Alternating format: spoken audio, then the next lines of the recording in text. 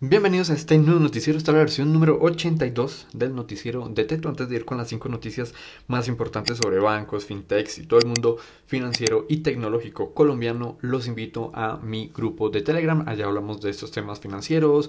Teto, me ofrecieron tal tarjeta de crédito, me ofrecieron tal cosa eh, me conviene, no me conviene, tengo tal puntaje o me va así, así o así, me conviene, no me conviene, es una tarjeta, un producto bancario para mi target, allá le podríamos indicar, también invitarlos a mi canal de WhatsApp, allá llegan las últimas notificaciones del canal de YouTube y también llegan las últimas noticias. Y por último, invitarlos a mi podcast, está en Apple Podcast, Google Podcast y en Spotify, allá también hablamos de estos temas.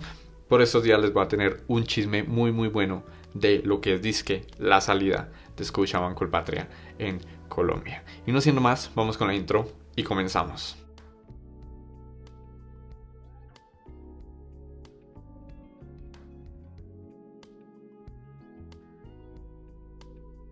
La primera noticia del día es sobre el Banco de Bogotá y es que ha lanzado una nueva cuenta de ahorros sin cuota de manejo, aunque, como les estoy mostrando en pantalla, tiene algunas condiciones.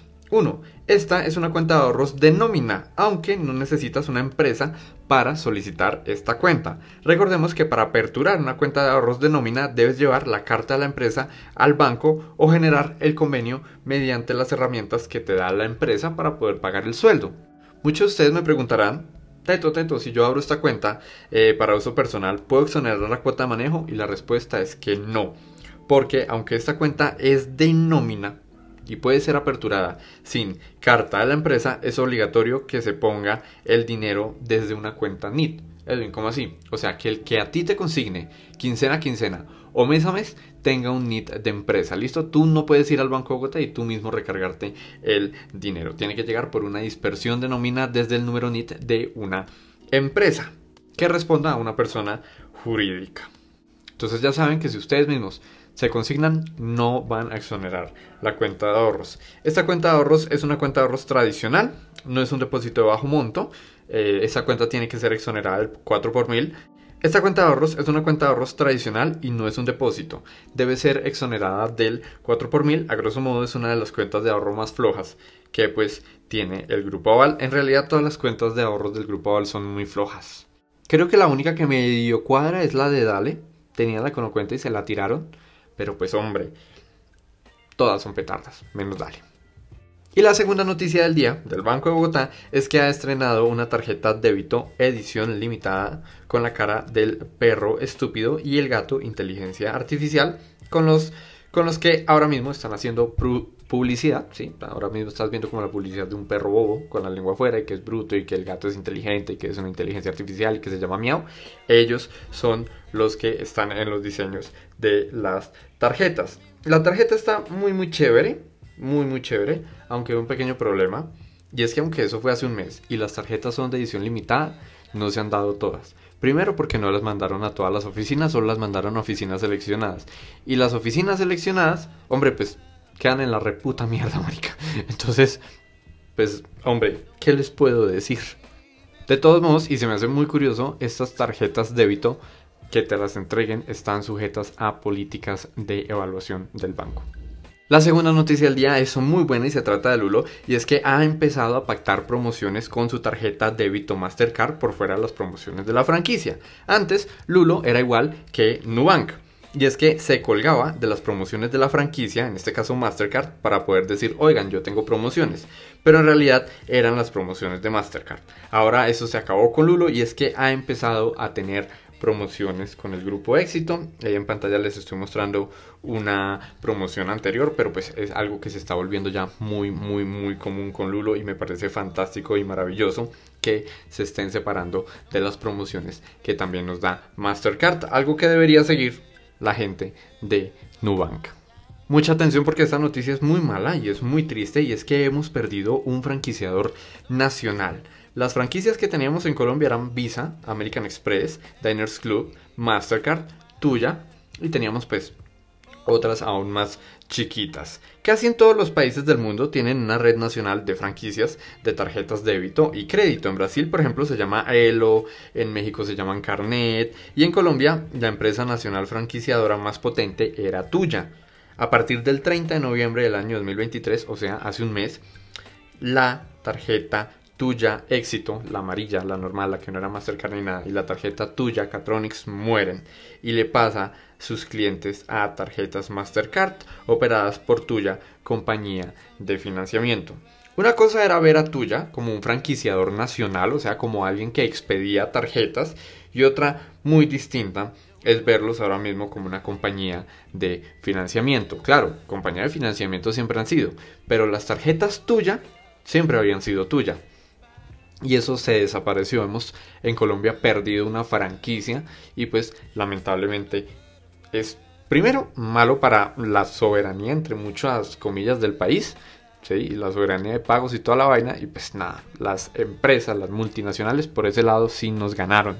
Sucedió lo mismo con la tarjeta crédito fácil Codensa de Enel X. Sucedió exactamente lo mismo. Están siendo migradas ahora mismo por Scotiabank Colpatria a tarjetas Mastercard. Y es muy probable que las tarjetas del Banco Finanza Olímpica las pasen todas a ser Mastercard, que también pues son quienes operan esta franquicia en eh, Ser Finanza. ¿sí? Las tarjetas que sí tienen franquicia en Ser Finanza son Mastercard, al igual de lo que pasó en, en, en Tuya.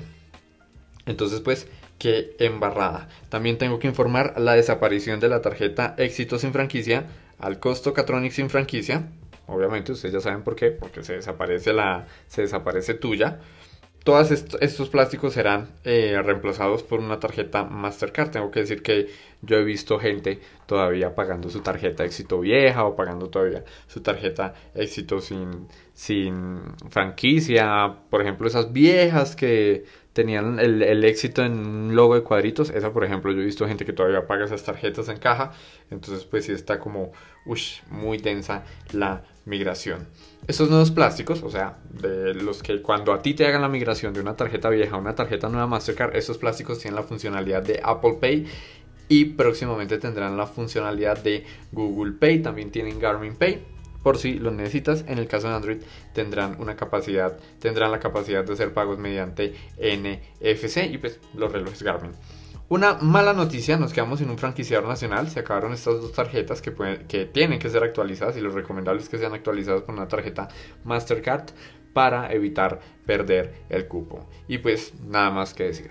La cuarta noticia del día es sobre la tarjeta de crédito Rappi y es que llevan un mes añadiéndola al wallet de Google, solo que pues se demoraron mucho en, hacer oficial su, salida. O sea, aunque ya se podía agregar, demoraron una semana en anunciarla y antes de eso como que un mes completo, que sí se podía, no se podía, que habían errores, que sí, que no, que yo, bueno, en fin, eh, todos fuimos testigos de eso, bueno, todos los que teníamos la tarjeta y como que estábamos pendientes de, de la situación, pues ya tengo que decirles que por fin la tarjeta ha sido legalizada en Google Pay, aunque fue legalizada como da vivienda. La tarjeta no fue legalizada como en Apple Pay, que se legalizó como una tarjeta eh, Rappi, ¿sí? aparte de la vivienda, no.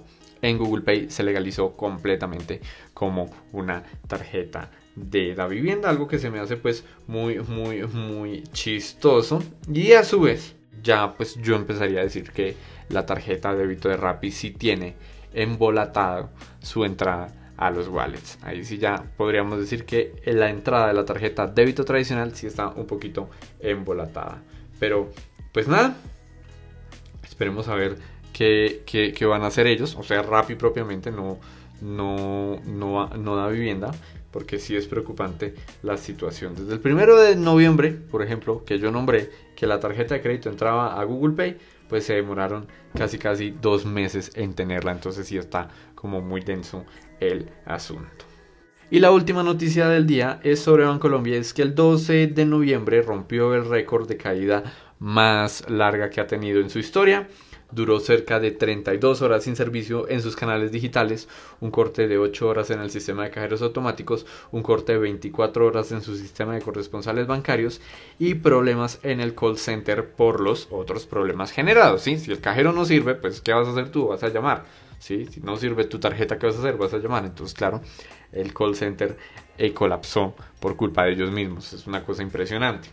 Bancolombia acaba de romper el propio récord que tenían de de estar 16 horas sin servicio y ahora lo rompieron con 32 horas sin servicio, 8 horas, pues lo que les había dicho, sin los cajeros automáticos, 24 horas sin corresponsalía y pues hombre, que gonorrea, parce. A lo bien, que gonorrea. O sea, se, ellos mismos se, se, se superaron.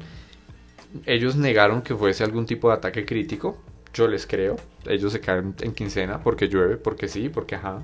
Entonces, pues, hombre, sí tendría que decir que deberían escuadrar un poquito más sus sistemas, porque ya que hayan roto un récord, 12 de noviembre, o sea, se vino a confirmar la última semana de diciembre, pero se sabe que Bancolombia rompió el récord de caída del año 2023. Me acuerdo que el año pasado, el 12 de diciembre, se había caído Bancolombia, se había caído eh, Da Vivienda y se, se habían caído unas CPS, creo que se había caído Sanitas si mal no estoy, y eso, mejor dicho, eso que medio país colapsara, eso fue una cosa impresionante.